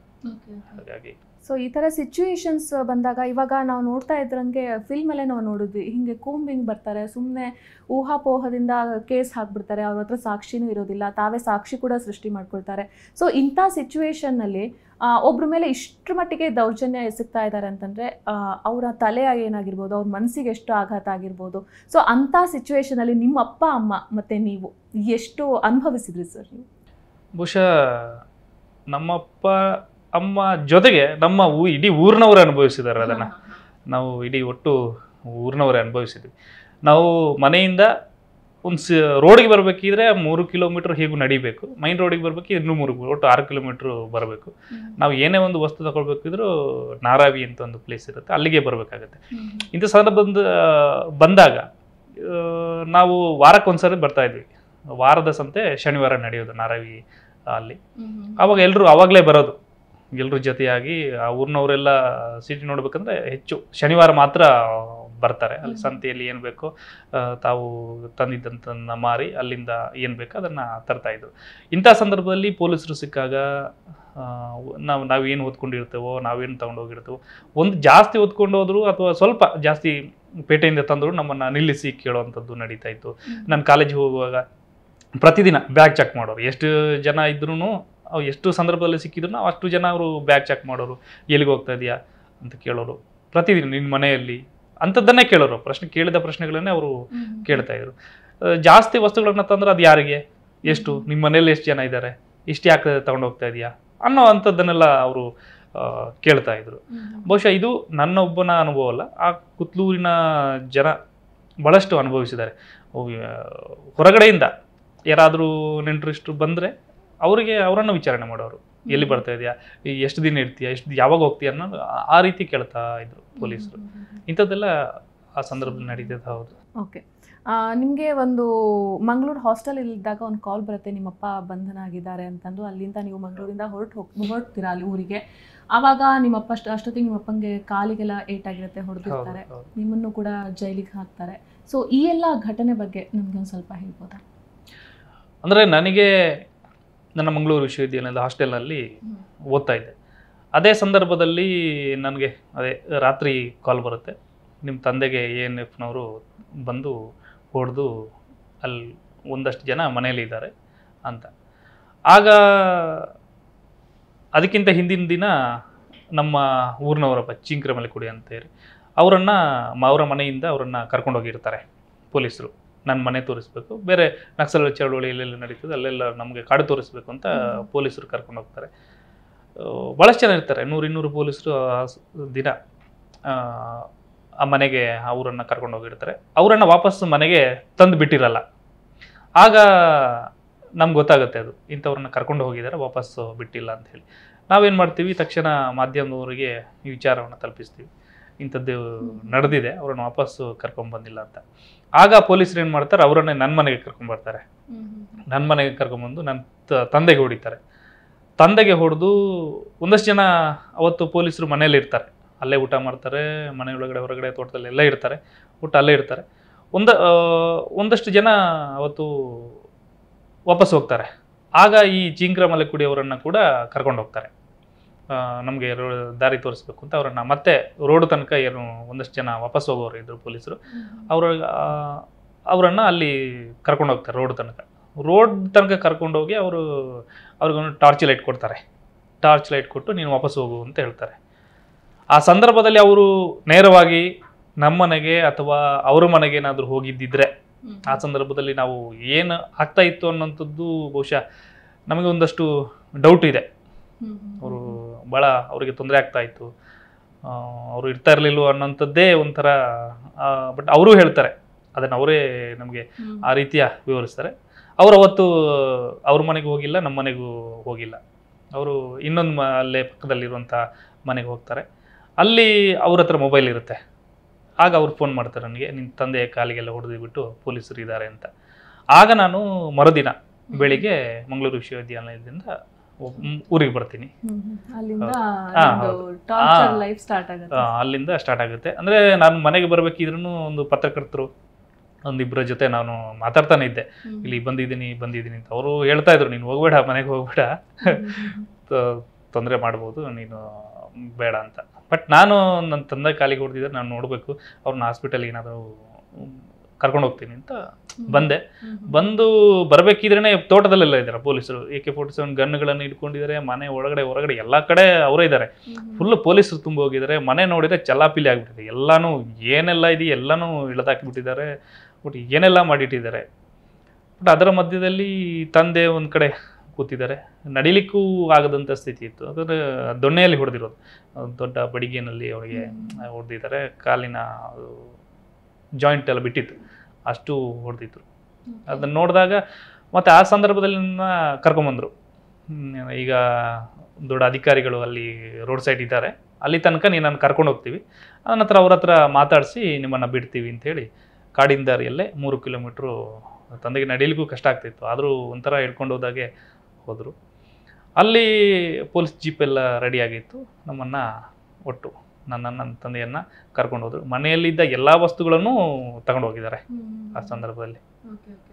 ಅಂದ್ರೆ ಇದು ಬೇಸಿಕಲಿ ಒಂದು ಟ್ರ್ಯಾಕ್ ಮಾಡಬೇಕು ಅಂತ ಈ ಥರ ಮಾಡಿರೋದು. ಯಾಕಂದ್ರೆ ನಿಮ್ಮ ಕ ಎಲ್ಲಿ ಏನೇ ಆದರೂ ನಿಮ್ಮಿಂದ ನಿಮ್ಮ ಥ್ರೂ ಇಂದ ಜರ್ನಲಿಸ್ಟ್ಗಳಿಗೆ ಅಲ್ಲಿ ಸುದ್ದಿ ಹೋಗ್ತಾ ಇತ್ತು ಸುದ್ದಿ ಪ್ರಕಟ ಆಗ್ತಾ ಇತ್ತು ಇಮಿಡಿಯೇಟ್ ಆಗಿ.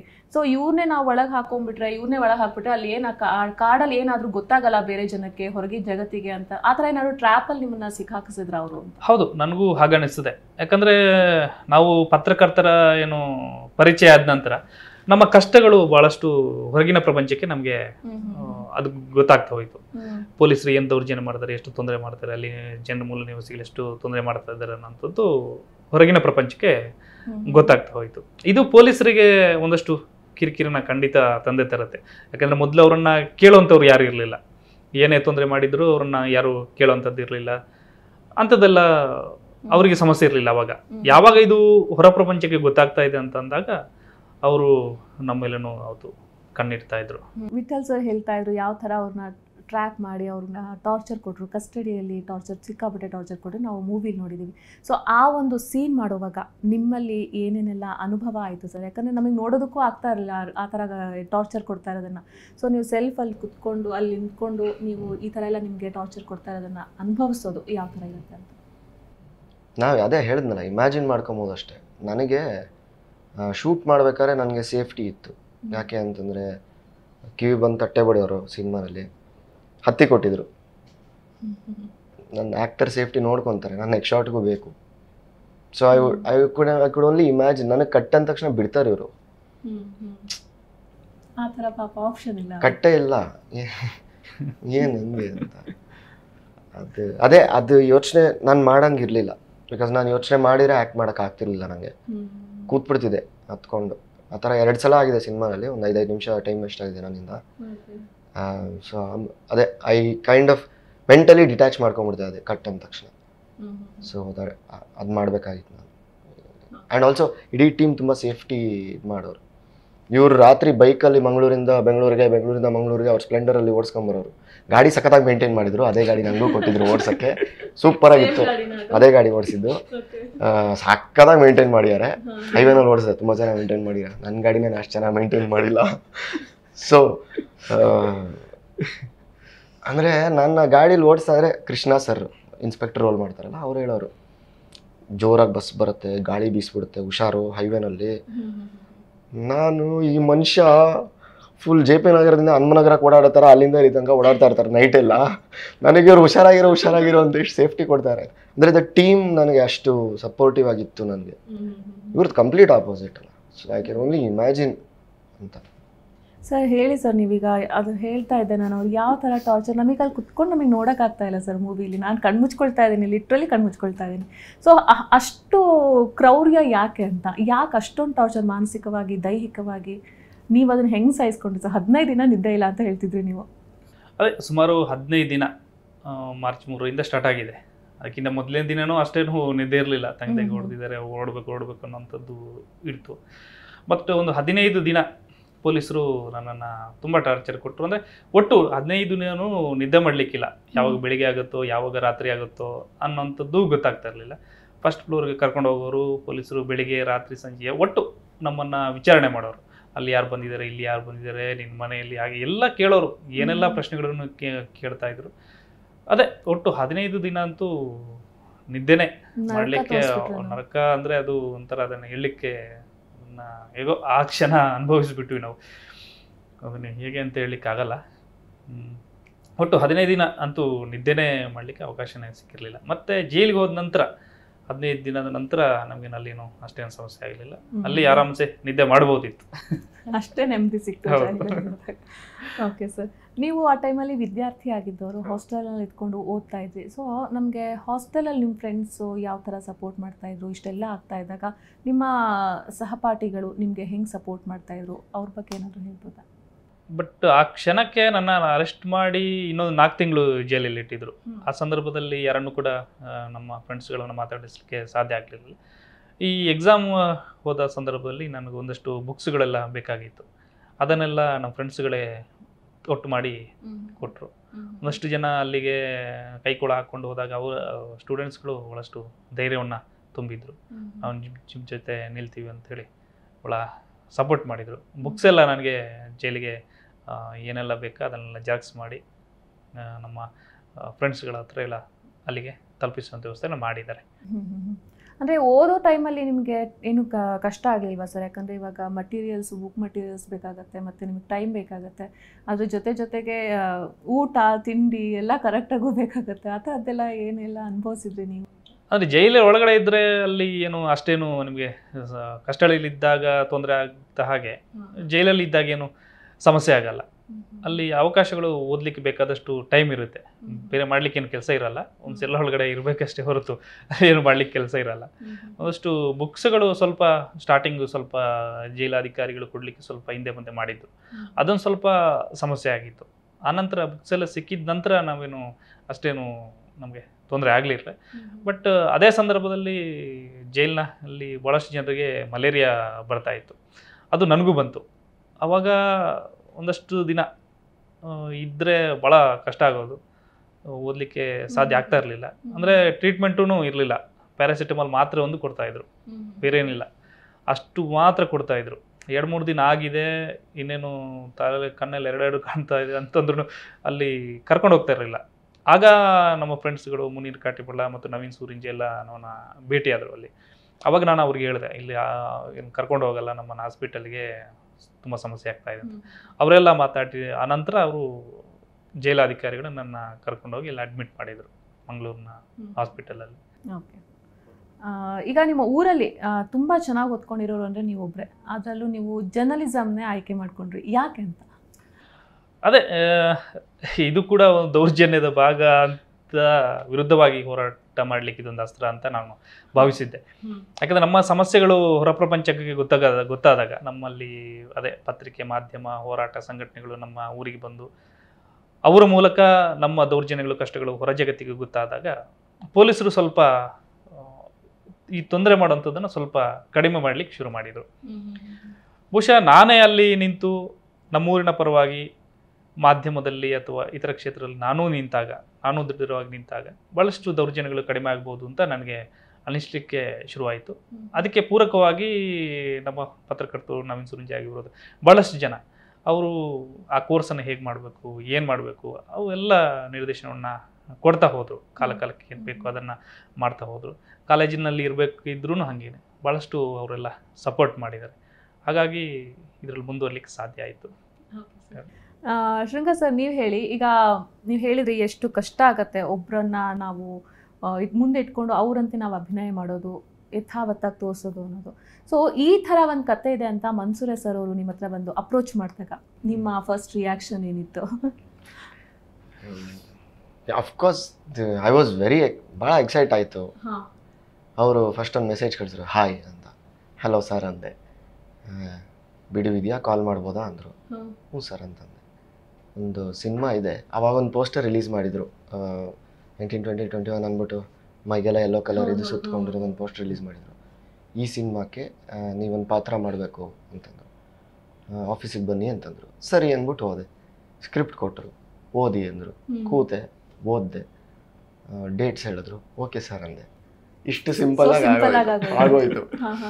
ಆಮೇಲೆ ಅದ್ರ ಗ್ರಾವಿಟಿ ನನಗೆ ಎಲ್ಲ ಆಗೋಯ್ತಾ? ಆಮೇಲೆ ಅಯ್ಯೋ ಯಪ್ಪ ಲೈಕ್ ರಿಯಲ್ ಆಗಿ ಇಷ್ಟೆಲ್ಲ ಆಗಿರೋ ಒಂದು ಆಮೇಲೆ ಮನೆಗೆ ಹೋದ್ಮೇಲೆ ಅದು ಗ್ರಾವಿಟಿ ನನಗೆ ತಟ್ಟಕ್ಕೆ ಶುರು ಆಯಿತು. ಆಮೇಲೆ ಇವ್ರನ್ನ ಮೀಟ್ ಮಾಡಿದ್ಮೇಲೆ ಒಂಥರ ಆರಾಮಾಗೋಯ್ತು. ಸೊ ಸಿಂಪಲ್ ಆಗಿ ಆಗಿರೋದು ಕೊನೆಗೆ ಇವ್ರನ್ನ ಮೀಟ್ ಆದ್ಮೇಲೆ ಇನ್ನೂ ಅದು ಇನ್ನೂ ಸ್ವಲ್ಪ ಸಿಂಪಲ್ ಆಯಿತು ಅಂತ ಹೇಳಿ ಹ್ಞೂ. ಓಕೆ ಈಗ ಈ ಥರ ಮೂವೀಸ್ಗಳನ್ನು ಜನಗಳು ನೋಡೋದು ತುಂಬ ಕಡಿಮೆ ಆಗುತ್ತೆ ಯಾಕಂದರೆ ಕಂಟೆಂಟ್ ಬೇಸ್ಡ್ ಮೂವೀಸ್ನ ಜನಗಳು ನೋಡೋದಕ್ಕೆ ಕಡಿಮೆ ಬರ್ತಾರೆ. ನೀವು ಏನು ಹೇಳಕ್ಕೆ ಇಷ್ಟಪಡ್ತೀರಾ ಜನರಿಗೆ? ಯಾಕೆ ಈ ಥರ ಆಗ್ತಾ ಇದೆ ಅಂತ? ಒಂದು ನಮ್ಮನ್ನ ಒಂಥರ ಈ ಇನ್ಸ್ಟಾಗ್ರಾಮ್ ರೀಲ್ಸ್ ಎಲ್ಲ ಬಂದು ಅಮೇಝಿಂಗ್ ಕಂಟೆಂಟ್ ಇರುತ್ತೆ. ಕೆಲವರೆಲ್ಲ ತುಂಬ ಒಳ್ಳೆ ಕಾಮಿಡಿ ಮಾಡ್ತಾರೆ. ಬಟ್ ಅದರ್ವೈಸ್ ಬರೇ ಕಾಮಿಡಿ ಬರೇ ನಗ್ಲಿಕ್ಕೋಸ್ಕರ ಬರೀ ಒಂದು ಕ್ಷಣದ ಅನ್ನೋಕ್ಕೋಸ್ಕರ ರೀಲ್ಸ್ ಇದ್ದಾವೆ ಅದಕ್ಕೆ ಸಿನಿಮಾ ಬೇಕಿಲ್ಲ. ಸಿನಿಮಾನಲ್ಲಿ ಒಂದು ಒಂದು ದೊಡ್ಡ ಕಾದಂಬರಿ ಆಶಯನೂ ಇಟ್ಕೊಂಡು ಒಂದು ಇಡೀ ಕಮ್ಯುನಿಟಿಯ ಇಷ್ಟು ವರ್ಷದ ಕಥೆ ಹೇಳೋ ಸಾಧ್ಯತೆ ಇರುತ್ತೆ. ಅಲ್ಲಿ ನಾವು ಆದಷ್ಟು ಜನ ಇದ್ದಾಗ ಇನ್ನೂ ನಡೀತಾ ಇರಬೇಕಾದ್ರೆ ನಾವು ಅದನ್ನು ಅದಕ್ಕೊಂದು extra comedy extra song extra fight ಎಲ್ಲ ಹಾಕಿ ಆಗಿಲ್ಲ ಅವೆಲ್ಲ. ಬೇರೆ ಥರದ ಕರೇಜ್ ಇರುವಂಥ ಫೈಟ್ ಆಗಿದೆ ಇಲ್ಲಿ. ಹೊಡೆದು ಹಿಡಿದು ಹೊಡೆಯೋಕ್ಕಿಂತ ದೊಡ್ಡ ಕರೇಜ್ ದೊಡ್ಡ ಮಟ್ಟದ ಕರೇಜಿಯಸ್ ಫೈಟ್ ನಡೆದಿದೆ ಇಲ್ಲಿ. ಆ ಡ್ರಾಮಾ ನೆಸಿಟಿ ಇಲ್ಲ. ಇರೋದನ್ನು ಹೇಳಿದ್ರೆ ಇಟ್ ಇಸ್ ಇನ್ನೂ ಎಷ್ಟೆಷ್ಟೊಂದಿದೆ. ಸಿನಿಮಾನಲ್ಲಿ ಅವರು ಮಲೇರಿಯಾ ಅಂತ ಹೇಳಿದ್ರಲ್ಲ ಆ ಸೀನ್ ಶೂಟ್ ಆಗಿತ್ತು ಬಟ್ ಲೆಂತ್ಗೋಸ್ಕರ ಅಗೇನ್ ಲೆಂತು ಜನ ನೋಡಲ್ಲ ಅನ್ನೋ ಕಾರಣಕ್ಕೋಸ್ಕರ ಇಂಥ ಇಂಪಾರ್ಟೆಂಟ್ ಕಥೆಗಳನ್ನ ನಾವೇ ಕಟ್ ಡೌನ್ ಮಾಡ್ಕೋತಾ ಬರಬೇಕಾಯ್ತು. ಬಟ್ ಮಜಾ ಅಂತಂದರೆ ಜ ಬಂದಿರೋ ಜನ ಥಿಯೇಟರ್ ಒಳಗಡೆ ಬಂದವರು ಯಾರು ಇಲ್ಲಿ ತನಕ ಲೈಕ್ ಕಣ್ಣಲ್ಲಿ ಒಂದು ಹನಿ ಹಾಕ್ಕೊಳ್ದೆ ಹೋಗಿಲ್ಲ. ಮೀಟ್ ಮಾಡಿದವರೆಲ್ಲ ಬಂದು ಅಂದರೆ ಕಣ್ಣಲ್ಲಿ ಒಂದು ಹನಿ ಜೊತೆಗೆ ಒಂದು ಸೆನ್ಸ್ ಆಫ್ ಹಿಂಗ ಹಿಂಗ ಜಗತ್ತು. ಅನ್ನೋ ಒಂದು ಸೆನ್ಸ್ ಅವ್ರ ಕಣ್ಣಲ್ಲಿ ಕಾಣಿಸ್ತಾ ಇತ್ತು ಪ್ರತಿಯೊಬ್ಬರು ಅದು ಆ್ಯಕ್ಚುಲಿ ವಿಡಿಯೋಸ್ ಎಲ್ಲ ಶೇರ್ ಮಾಡಿದ್ದಾರೆ. ಸೊ ಭಾಳ ಜನಕ್ಕೆ it's been an eye opener ನಿಜವಾಗ್ಲು. ಸೊ ಬರಬೇಕಷ್ಟೇ ಜನ.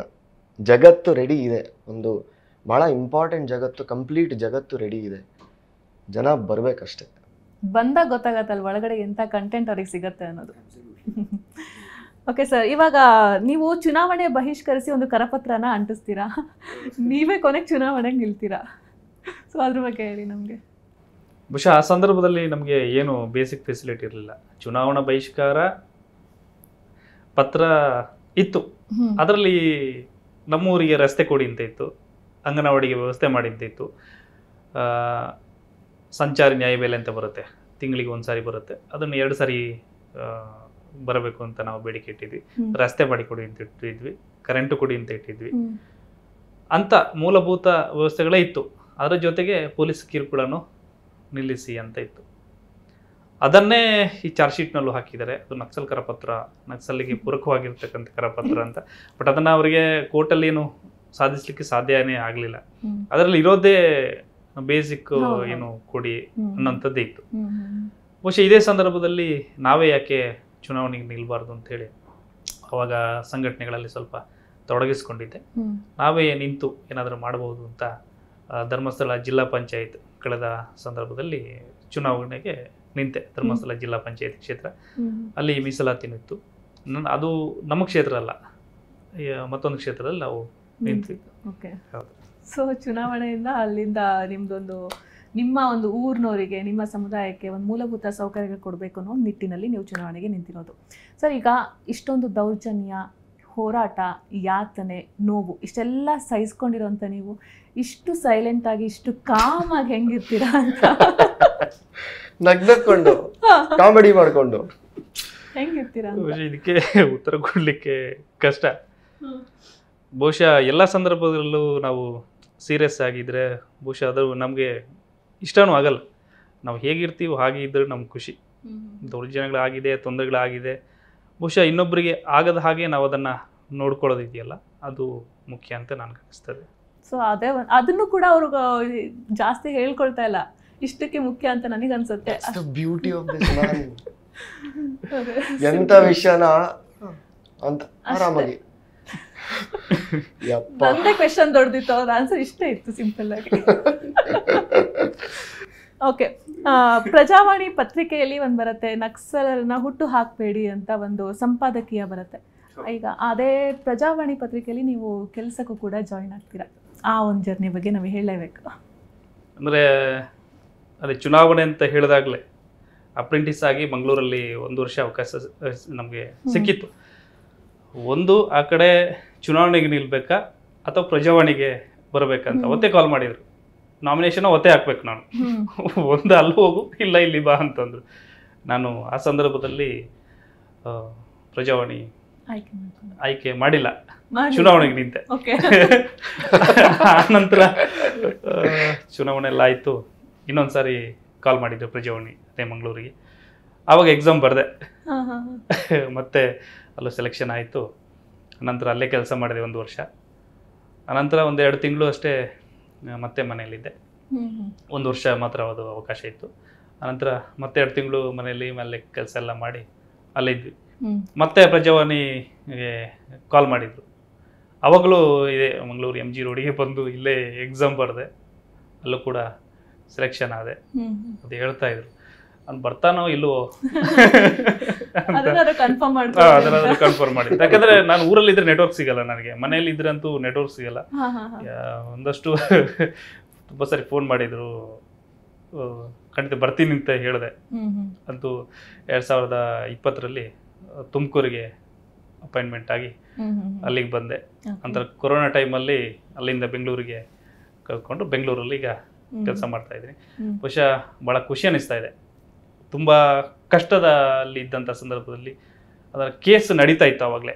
ಕೇಸ್ ನಡೀತಾ ಇದ್ದಂಥ ಸಂದರ್ಭದಲ್ಲೇ ಪ್ರಜಾವಾಣಿ ನನಗೆ ಅವಕಾಶವನ್ನು ಕೊಟ್ಟಿರೋದು ಭಾಳ ಖುಷಿ ಇದೆ ಮತ್ತು ಧನ್ಯವಾದಗಳು. ಅಂದರೆ ನಾನು ಹನ್ನೊಂದು ಗಂಟೆಗೆ ಅಲ್ಲಿ ಕೋರ್ಟ್ ಹಿಯರಿಂಗ್ ಅದು ಕರೀತಾ ಹ್ಮ್. ಬಹುಶಃ ಇಲ್ಲಿಂದ ಮಂಗಳೂರಿಗೆ ನಾನು ಹನ್ನೊಂದು ಗಂಟೆ ಅಲ್ಲಿ ಇರಲೇಬೇಕಾಗಿತ್ತು. ಬಹುಶಃ ರಜೆ ಕೇಳಿದಾಗ ನಾನು ಅವ್ರು ಯಾವತ್ತೂ ಕೊಡ್ಲಿಕ್ಕಾಗಲ್ಲ ಅಂತ ಯಾವತ್ತೂ ಹೇಳಲಿಲ್ಲ. ಅದಕ್ಕೆ ಜಸ್ಟಾಗಿ ಆಗಿ ನಮಗೆ ರಜೆ ಕೊಡ್ತಾಯಿದ್ರು ಅಲ್ಲಿ ಹೋಗ್ತಾ ಇದ್ವಿ. ಬಹುಶಃ ಇಲ್ಲಿ ಕೆಲಸ ಮುಗಿಸಿ ನಾನು ಭಾಳಷ್ಟು ಸಂದರ್ಭದಲ್ಲಿ ಹೋಗಿದ್ದೀನಿ. ತುಮಕೂರಲ್ಲಿದ್ದಾಗ ಕೊರೋನಾ ಅಷ್ಟು ಇದು ಇರಲಿಲ್ಲ. ಅಲ್ಲಿಂದ ಬಿಟ್ಟು ಬೈಕಲ್ಲಿ ಹೋಗ್ತಾ ಇದ್ದೆ ಅಲ್ಲಿಂದನೂ ಕೂಡ. ಬಹುಶಃ ನಾವು ಕೆಲಸ ಮುಗಿಸಿ ಹನ್ನೊಂದು ಗಂಟೆ ನಂತರ ಅದನ್ನು ಬಸ್ಸು ಸಿಗಲ್ಲ ನಮಗೆ. ಹಾಗಾಗಿ ಅನಿವಾರ್ಯತೆ ಇತ್ತು. ಅಲ್ಲಿ ತಲುಪಬೇಕು ಅನ್ನುವಂಥದ್ದೊಂದು ಇಲ್ಲಿ ಕೆಲಸ ಮುಗಿಸಿನೇ ಹೋಗ್ಬೇಕು ನಾವು. ಬೇರೆ ಏನು ಅವಕಾಶಗಳಿರಲಿಲ್ಲ ಬಟ್ ಇನ್ನೊಂದು ಇನ್ನು ಹೆಚ್ಚುವರಿ ಒಂದು ರಜೆ ಇದ್ದಾಗ ಮಂಗಳೂರಿಂದ ಮತ್ತೆ ಮನೆಗೆ ಹೋಗ್ಬೇಕಿದ್ರೆ ಅಲ್ಲಿಂದ ಎಂ- ಎಂಬತ್ತು ಕಿಲೋಮೀಟರ್ ಇದೆ. ಮತ್ತೆ ಅಲ್ಲಿಂದ ಒಂದು ಆರು ಕಿಲೋಮೀಟರ್ ನಡಿಬೇಕು ಅದಕ್ಕೂ ಒಂದು ಈಸಿ ಆಗೋದು. ಸ್ವಲ್ಪ ಬೇಗ ಮನೆ ತಲುಪಲಿಕ್ಕೆ ಅವಕಾಶ ಆಗ್ತಾಯಿತ್ತು ಬಹುಶಃ ಬೆಂಗಳೂರಿಗೆ ಬಂದ ನಂತರ ಕೊರೋನಾ ಶುರುವಾಯಿತು. ಇಲ್ಲಿ ಆವಾಗ ವರ್ಕ್ ಫ್ರಮ್ ಹೋಮು ಮನೆಯಿಂದ ಕೆಲಸ ಮಾಡಬೇಕಾಯಿತು. ಅಲ್ಲಿಂದ ಕೆಲಸ ಮುಗಿಸಿ ಹನ್ನೊಂದು ಹನ್ನೊಂದುವರೆ ಆಗೋದು. ಆಗ ಕೊರೋನಾ ಟೈಮಲ್ಲಿ ನಿಮ್ಗೆ ಒಂದೊಂದು ಒಂದು ಬಸ್ ಇಲ್ಲ ಅವಕಾಶಗಳಿಲ್ಲ. ಹೋಗ್ಲಿಕ್ಕೆ ಇಲ್ಲ ಅಂತ ಸ್ಥಿತಿ ಇತ್ತು.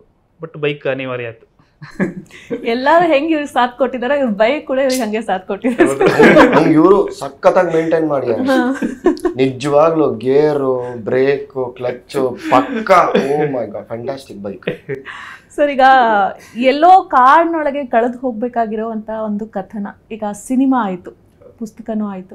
ಸೊ ಇದ್ರ ಬಗ್ಗೆ ಏನು ಹೇಳ್ತೀರಾ? ಎಲ್ಲ ಯಾವ ರೀತಿಯಾಗಿ ಚೇಂಜ್ ಆಗ್ತಾ ಇದೆ? ನಿಮ್ಮ ಲೈಫ್ ಸ್ಟೈಲ್ ಏನಾದರೂ ಚೇಂಜ್ ಆಯ್ತಾ ಇದರಿಂದ ಅಂತ? ಒಂಥರ ಖುಷಿನೂ ಇದೆ. ನಮ್ಮಂಥ ಸಾಮಾನ್ಯ ಜನರನ್ನು ಒಂದು ಇಟ್ಕೊಂಡು ಸಿನಿಮಾ ಮಾಡೋದು ಇದೆಯಲ್ಲ ಅದಷ್ಟು ಸುಲಭ ಅಂತೂ ಅಲ್ಲ. ಅದರ ಹಿಂದೆ ಭಾಳಷ್ಟು ಕೆಲಸಗಳಿರುತ್ತೆ. ಅದನ್ನೆಲ್ಲ ಒಟ್ಟು ಸೇರಿಸಿ ಸಿನಿಮಾ ಮಾಡಿದ್ದಾರೆ ಅಂದರೆ ನಮಗಂತೂ ಖುಷಿ ಇದೆ. ಬಹುಶಃ ನಾವೆಲ್ಲರೂ ಕೂಡ ಕುತ್ತೂರಿನ ಎಲ್ಲರೂ ಕೂಡ ಆ ಸಿನಿಮಾವನ್ನು ಜೊತೆಯಾಗಿ ನೋಡಿದ್ದೀವಿ. ಅದು ಒಂಥರ ಖುಷಿ ಇದೆ. ಓಕೆ ಸರ್ ನೀವೀಗ ಇವರ ಒಂದು ಪಾರ್ಟ್ ಮಾಡಿರೋಂತಹ ನೀವು ಬೈಕ್ನ ಓಡಿಸ್ಕೊಂಡು ಬರ್ತಾ ಇರ್ತೀರಾ? ಒಂದಿಷ್ಟು ಸನ್ನಿವೇಶಗಳು ನಾನು ಹೇಳೋದಾಯ್ತಂದ್ರೆ ಅವರು ಪೊಲೀಸ್ ಹೇಳ್ತಾರೆ ಒಂದು ನೀವು ಸ್ಟೇಟ್ಮೆಂಟ್ ಬರ್ಸ್ಕೊಳ್ತಾರೆ. ಈ ಥರ ನೀನು ಹೇಳಿಲ್ಲ ಅಂದರೆ ಎಲ್ಲರನ್ನೂ ನಾನು ನಕ್ಸಲ್ ಅಂತ ಹೇಳಿ ಜೈಲಿ ಕಳಿಸ್ಬೇಕಾಗತ್ತೆ ಅಂತ. ಅವಾಗ ಇವ್ರ ಕಣ್ಣಲ್ಲಿ ಎರಡು ಡ್ರಾಪ್ ಹನಿ ಬೀಳುತ್ತೆ. ಅದು ತುಂಬಾ ಎಮೋಷ್ನಲ್ ಮೂಮೆಂಟ್ ಅದಂತೂ. ಸೊ ಅದ್ರ ಬಗ್ಗೆ ನಮ್ಗೆ ಹೇಳಿ ಸರ್. ಅಗೇನ್ ಅದು ಇವ್ರಿ ಇವ್ರ ಸಿಚುವೇಶನ್ ಇಮ್ಯಾಜಿನ್ ಮಾಡಿಕೊಂಡು ಅನಿಸ್ತಿತ್ತಲ್ಲ. ಅದಕ್ಕೊಂದು ಔಟ್ಲೆಟ್ ಆಯಿತು ಆ ಸೀನ್ ಬಿಕಾಸ್ ಅವ್ರು ಕೃಷ್ಣ ಅವ್ರು ನಿಂತು ಹೇಳ್ತಾ ಇದ್ದಾರೆ ಅವಾಗ ಇವ್ರದ್ದೆಲ್ಲ ಬರ್ತಾ ಇತ್ತು. ಇವಾಗ ಹೇಳಿದ್ರೆ ಆ ಥರ ಎಲ್ಲ ಬರ್ತಾ ಇತ್ತು ಯೋಚನೆಗಳು. ಆ್ಯಂಡ್ ಒಂದು ಪಾಯಿಂಟಲ್ಲಿ ನಿಮ್ಮ ಮನೆಯವ್ರನ್ನ ನಿಮ್ಮ ತಂಗಿನ ಅಂತೆಲ್ಲ ಬಂದಾಗ ಇಟ್ ಒಂಥರ ಅದು it came it came became very personal of course I think glycerine use ಮಾಡಿದ್ದೆ ಅಂತ ಕಾಣುತ್ತೆ. ಟೆಕ್ನಿಕಲಿ ಸಹಾಯ ಬೇಕಾಗುತ್ತೆ ಗ್ಲಿಸರಿನ್ ಮತ್ತೆ ಮತ್ತೆ ಶಾರ್ಟ್ ಆಗ್ತಿದ್ದಾಗ. ಒಂದು ಸಲ ಆಳ್ಬೋದು ಎರಡು ಸಲ ಆಳ್ಬೋದು ಮತ್ತೆ ಮತ್ತೆ ಮಾಡ್ಬೇಕಾದ್ರೆ ಗ್ಲಿಸರಿನ್ ಯೂಸ್ ಮಾಡೇ ಮಾಡ್ತೀವಿ. ಬಟ್ ಆ ಟೈಮಲ್ಲಿ ಅದು ಹಂಗೆ ಬರ್ಬೇಕಂತಂದರೆ ಅದೆಲ್ಲ ಪ್ಲೇ ಆಗ್ತಾ ಇತ್ತು. ಸೊ ಆಯಿತು ಅದಷ್ಟೇ. ಅಮ್ಮಗೆ ಕಡಿಮೆ ಉತ್ತರ ಕೊಡ್ಲಿಕ್ಕೆ ಕಲ್ತ್ರಿ. ನಂದು ಅದೇ ಕೇಸು ನಿಮ್ಮ ಥರನೇ ಇವೆಲ್ಲವನ್ನ ನೋಡ್ತಾ ಇದ್ರೆ ನಾನು ಏನು ತಪ್ಪು ಮಾಡಿಲ್ಲ ನಾನು ಇಷ್ಟೆಲ್ಲ ಅನುಭವಿಸ್ಬೇಕಾಯ್ತಲ್ಲಪ್ಪ ಅಂತ ಮನ್ಸಿಗೆ ಬಂದಿದ್ಯಾ ನಿಮಗೆ? ಇನ್ನೂ ತನಕ ಬರುತ್ತಾ ಅದು? ಅದು ಹೇಳಿಕ್ಕೆ ಸ್ವಲ್ಪ ಕಷ್ಟ. ಆ ಕಷ್ಟಗಳನ್ನು ನಾನು ಭಾಳಷ್ಟು ಹಿಂದೆನೇ ನೋಡಿದ್ದೆ. ನಮ್ಮೂರಿನ ಅಲ್ಲಿ ಪೊಲೀಸರು ಬರೋದು ಜನರಿಗೆ ತೊಂದರೆ ಮಾಡೋದು. ಯಾಕೆಂದ್ರೆ ನಾನು ಮೊದಲಿನವನೇ ಅಲ್ಲ. ಕೊನೆಯವನು ಅಲ್ಲ. ಮಧ್ಯದಲ್ಲಿ ಇದ್ದೀನಿ ಈಗ. ಅಲ್ಲಿ ಆ ಕಡೆನೂ ನೋಡಿದ್ದೀನಿ ಈ ಕಡೆ ನೋಡಿದ್ದೀನಿ. ಹಾಗಾಗಿ ಅದು ಅಷ್ಟೊಂದು ಕಷ್ಟ ಅನ್ನೋದಕ್ಕಿಂತ ಏನ್ ಹೇಳ್ಬೇಕು ಗೊತ್ತಾಗದ ಸ್ಥಿತಿ. ಬಟ್ ಅದನ್ನು ನಾವು ಅನುಭವಿಸಿದ್ದೀವಿ ಅನ್ನೋ ಕಾರಣಕ್ಕೋಸ್ಕರ ಅದು ಕಷ್ಟ ಆಯಿತು ಹಾಗೇನಿಲ್ಲ ಅದು. ಅದು ಒಂಥರ ನಡೀತಾ ಹೋಯ್ತು. ಅದನ್ನಷ್ಟೇ ಹೇಳುವಲ್ಲ ನಾನು. ಸೊ ನಿಮಗೆ ಸ್ಪೆಷಲ್ ಅಂತ ಆಗಿಲ್ಲ. ನಿಮಗೆ ನಿಮ್ಮ ಊರಿನಲ್ಲಿ ಆಗಿರೋರ್ಗೆ ಎಲ್ಲರಿಗೂ ರೀತಿಯ ನಿಮಗೂ ಕೂಡ. ನನಗಿಂತ ಮೊದಲು ಆಗಿದೆ ಪೊಲೀಸರು ಟಾರ್ಚರ್ ಮಾಡಿದ್ದಾರೆ. ಬಟ್ ಅಲ್ಲಿ ಯಾರು ತಮ್ಮ ಹಕ್ಕುಗಳನ್ನು ಕೇಳ್ತಾರೋ ಅವರನ್ನು ಟಾರ್ಗೆಟ್ ಮಾಡಿದ್ದಾರೆ. ನಮಗೆ ರಸ್ತೆ ಕೊಡಿ ಅಂದವ್ರನ್ನ ಟಾರ್ಗೆಟ್ ಮಾಡಿದ್ದಾರೆ. ನಮಗೆ ಮೂಲಭೂತ ಸೌಕರ್ಯ ಒಟ್ಟು ಕಲ್ಪಿಸಿ ಅಂದಾಗ ಆಟೋಮೆಟಿಕ್ ಆಗಿ ಅವರ ಮೇಲೆ ಕಣ್ಣಿಟ್ಟಿದ್ದಾರೆ. ಅರಣ್ಯ ಇಲಾಖೆ ಇಟ್ಟಿತ್ತು ಪೊಲೀಸ್ ಇಲಾಖೆ ಒಟ್ಟು ವ್ಯವಸ್ಥೆ ಅವರ ಮೇಲೆ ಕಣ್ಣಿಟ್ಟು ಅವರು ಅದನ್ನು ದಮನ ಮಾಡಲಿಕ್ಕೆ ನೋಡ್ತಾ ಇದ್ರು. ಇನ್ನೂ ಅವರ ಲಿಸ್ಟಲ್ಲಿ ಭಾಳಷ್ಟು ಜನ ಹೆಸರು ಇದ್ದಿರ್ಬೋದು. ಮತ್ತು ಘಟನೆಗಳಾದಾಗ ಮತ್ತೆ ಸ್ವಲ್ಪ ತನ್ನಗಾಗಿದೆ ಅದೇ ಆ ನಂತರನೂ ಮೂಲಭೂತ ಸೌಕರ್ಯ ನಮಗೆ ನಾವೇ ಮಾಡಿಕೊಂಡಾಗ ರಸ್ತೆಗಳನ್ನು ನಾವು ರಿಪೇರಿ ಮಾಡಿಕೊಂಡಾಗ ಅವಾಗಲೂ ಇತ್ತೀಚೆಗೆ ಅದಕ್ಕೆ ಒಂದು ಎರಡು ವರ್ಷದ ಹಿಂದೆ ಅವ್ರ ಮೇಲೆ ಕೇಸ್ ಕೂಡ ಆಗಿತ್ತು. ಅಂದರೆ ಇದು ಇನ್ನೂ ಸಂಪೂರ್ಣವಾಗಿ ನಿಲ್ಲಿಲ್ಲ. ಇನ್ನೂ ಮುಂದುವರಿತಾ ಇದೆ. ಬಹುಶಃ ಇದು ಆಗಬಾರ್ದು. ಅಲ್ಲಿನ ಜನಗಳಿಗೆ, ನಮ್ಮೂರಿನಂಥ, ಕುತ್ಲೂರಿನಂಥ ಭಾಳಷ್ಟು ಪ್ರದೇಶಗಳು ಅರಣ್ಯ ವ್ಯಾಪ್ತಿಯಲ್ಲಿ ಅಲ್ಲಿನ ಜನಜೀವನ ಇದೆ, ಇವತ್ತಿಗೂ ಇದೆ. ಅವರಿಗೆ ಕನಿಷ್ಠ ಮೂಲಭೂತ ಸೌಕರ್ಯಗಳನ್ನು ಒದಗಿಸಲಿಕ್ಕೆ ಸಾಧ್ಯ ಆಗದಿದ್ರೂ ಕೂಡ ಅವರನ್ನು, ಅವರಷ್ಟಕ್ಕೆ ನೆಮ್ಮದಿಯಿಂದ ಜೀವನ ಮಾಡಲಿಕ್ಕೆ ಬಿಟ್ಟರೆ ಅದೇ ಖುಷಿ. ಓಕೆ ಸರ್ ವಿದ್ಯುತ್ ಬಂದಿದೆಯಾ ಇವಾಗ ಇವಾಗ ಅದರಲ್ಲಿ ಇಲ್ಲ ಇಲ್ಲ. ಇನ್ನೂ ಯಾರ ಮನೆಯಲ್ಲೂ ಇಲ್ಲ. ಮೂವತ್ತು ಮನೆಯದು ರಾಷ್ಟ್ರೀಯ ಉದ್ಯಾನವನ ಇನ್ನೂ ಇಲ್ಲ. ಓಕೆ ಇಲಾಖೆ ಒಂದಷ್ಟು ಸೋಲಾರ್ ಕೊಟ್ಟಿದೆ. ಹಾ. ಸಮಾಜ ಕಲ್ಯಾಣ ಇಲಾಖೆ. ಫೈವ್ ಟೂ ಮೀಟರ್ಸ್ ಏನೋ ವೈರ್ ಹಾ ಅದು ಎರಡು ಐದು ಮೀಟರ್ ಅಷ್ಟೇ ವೈರ್ ಇದೆ. ಒಂದೇ ಕಡೆ ಸ್ವಿಚ್ ಇದೆ. ಐದು ಮೀಟರ್ ಅದೀಗಂತೂ ಯಾರ ಮನೆಯಲ್ಲಿ ಉರಿಯಲ್ಲ. ಐವತ್ತು ಸಾವಿರ ವೆಚ್ಚ ಮಾಡಿದೀವಿ ಅಂತ ಹೇಳ್ತಾರೆ. ಸೌಭಾಗ್ಯ ಯೋಜನೆಯಲ್ಲಿ ಕೊಟ್ಟಿದ್ದಾರೆ. ಹಾ ಹಾ ಹಾ ಅದು ಯಾರ ಮನೆಯಲ್ಲೂ ಉರಿಯಲ್ಲ. ಅಂಥದ್ದನ್ನು ಭಾಳಷ್ಟು ಕೊಟ್ಟಿದ್ದಾರೆ. ಬಹುಶಃ ಮಾಡಿಗೆ ಸ್ವಲ್ಪ ಭಾರ ಆಗಲಿ ಅಂತ ಕೊಟ್ಟಿದ್ದಾರೆ. ಇಟ್ಕೊಂಡೆ ಹೌದು ಒಂದಷ್ಟು ಜನ ಅಂದ್ರೆ ಹೊಸತನನ ಹುಡುಕ್ತಾ ಇದ್ದಾರೆ. ಅಪ್ಡೇಟ್ ಆಗ್ತಾ ಇದ್ದಾರೆ. ಬಟ್ ಒಂದಷ್ಟು ಮನೆಗಳಲ್ಲಿ ಇವತ್ತಿಗೂ ಸೋಲಾರ್ ಅದೇ ಅದೇ ಮೈನ್ ಮತ್ತೆ ಒಂದಷ್ಟು ನೀರಿನ ವ್ಯವಸ್ಥೆಗಳಿದ್ದಾಗ ನೀರಿನ ಮೋಟಾರ್ ಇಟ್ಟು ಅದರಿಂದ ಅವರೇ ಜಲವಿದ್ಯುತ್ ಅಂತೇಳಿ ಒಂದಷ್ಟು ಮನೆಗಳಲ್ಲಿ ಈಗ ಅದಿದೆ. ಅದನ್ನ ಯೂಸ್ ಮಾಡ್ತಾರೆ. ಸೊ ಅಪ್ಗ್ರೇಡ್ ಆಗಿದ್ದಾರೆ ಅಂತ ಆಯ್ತು. ಹೌದು. ಅಂದ್ರೆ. ನಾವು ನೀವು ನೀವೇ ಮಾಡ್ಕೊಂಡಿರೋದು ನಾವೇ ಮಾಡ್ಕೊಂಡಿರೋದು.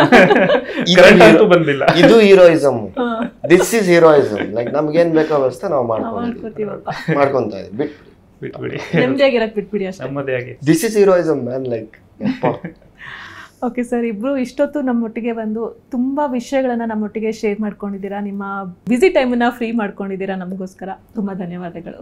Thank you thank you for the lovely questions ಬಹಳ ಖುಷಿ ಆಯ್ತು. ಥ್ಯಾಂಕ್ ಯು ಸರ್ ಸೊ ವೀಕ್ಷಕರೇ ಇದಾಗಿತ್ತು ನೈನ್ಟೀನ್ ಟ್ವೆಂಟಿ ಟ್ವೆಂಟಿ ಒನ್ನ ರೀಲ್ ಮತ್ತು ರಿಯಲ್ ಹೀರೋಗಳ ಮಾತುಕತೆ. ಇದೇ ರೀತಿಯಾದಂತಹ ಇಂಟ್ರೆಸ್ಟಿಂಗ್ ವಿಡಿಯೋಸ್ಗಳಿಗಾಗಿ ಪ್ರಜಾವಾಣಿನ ಫಾಲೋ ಮಾಡಿ.